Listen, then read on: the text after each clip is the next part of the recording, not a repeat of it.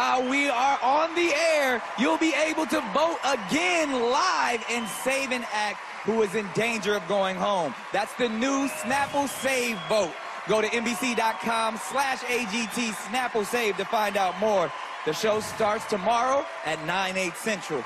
Okay, this next act has only been together for a few months, but they're already making major waves. It's the incredible Sons of Serendip.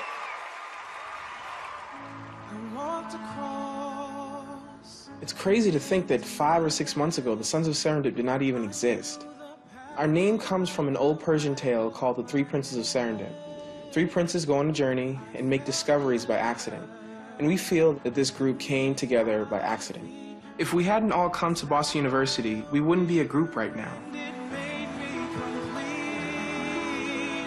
I came to play the harp through Rosalind Lewis, my old chorus teacher. She said, who would like to learn how to play the harp for free? I just simply heard free, and I said, sure, why not? I'll play it. I grew up in church, as both my grandparents are ministers. When I was 10, my teacher laid all the string instruments out on the floor and asked us to pick one.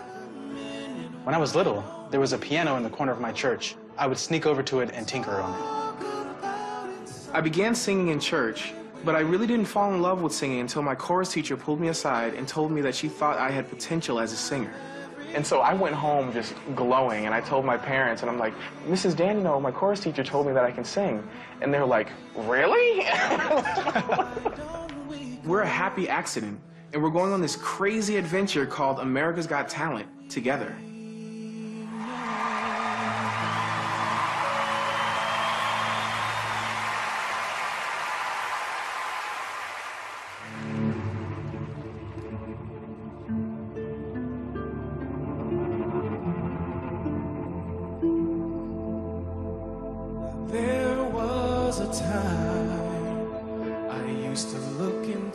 Father's eyes. In a happy home, I was a king, I had a golden throne. Those days are gone,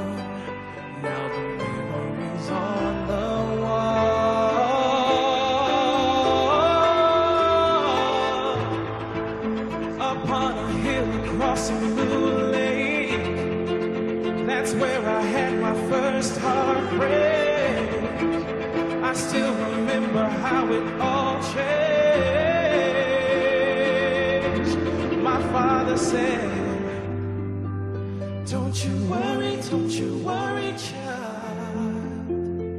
See, heaven's got a plan for you.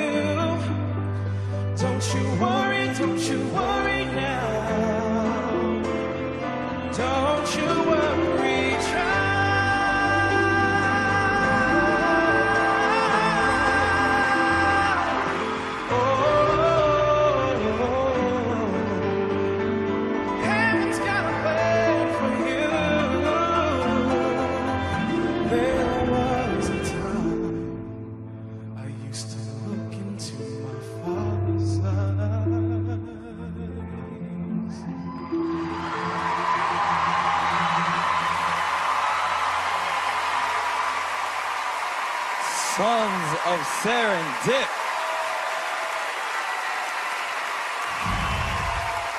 Bringing it. Awesome job. Heidi, Yes. how'd they do? You sang so beautifully again tonight. I really don't think that you have anything to worry about. You were great. Mel B. I love what you did again. You took a well known song and completely flipped it upside down and made it your own. That sounded beautiful, and what a solid performance. But I have to say, I'm really not sure about these clouds around you. It kind of freaked me out a little bit. Like, what is that? Howie.